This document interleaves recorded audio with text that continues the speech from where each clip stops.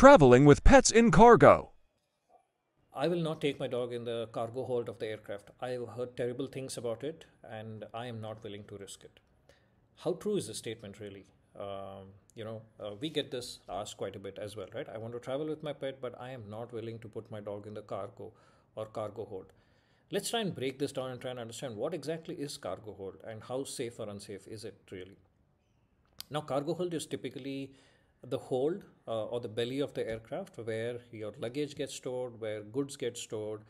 Uh, you know, in some cases, you know, uh, foodstuffs, you know, medicines, etc. A lot of things kind of get transported in the hold of the aircraft. Along with that, live animals get transported as well. Now, this part or the hold of the aircraft, every time there is a live animal, airlines will have an area demarcated for animals. Uh, now, this area will not have anything else on it, right? So, no other luggage will be hold, uh, loaded on that particular. It's called a pallet. No other uh, stuff will be loaded on that, and that whole area is demarcated for the animals, animal or animals that is traveling on the on the flight. Now, is this place is this safe? Uh, well, it, it, it is temperature control. So the temperature is pretty much similar to how we have in in the cabin, slightly colder, but uh, temperature is controlled.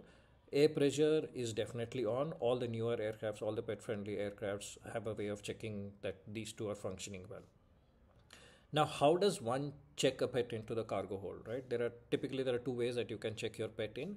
One is what we call as accompanied baggage or excess baggage, uh, which means that your pet is uh, tagged onto your PNR saying that it is a part of your personal baggage.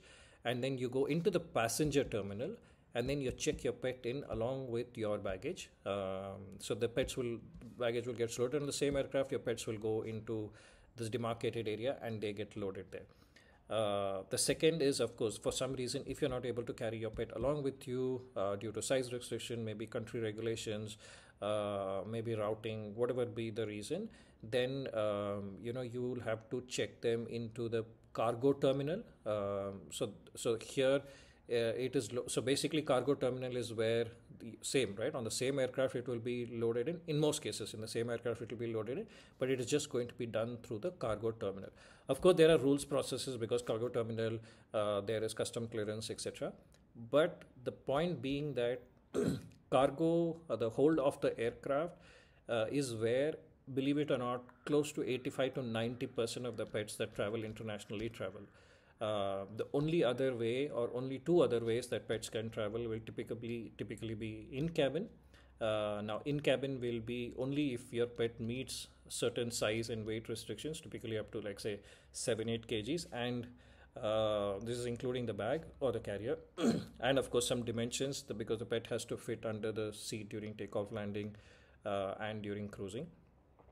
Uh, the the third the third way of doing this would be of course right? And there is a special thing for emotional support animals and service animals. Actually and this is for people who really have emotional support and service animals.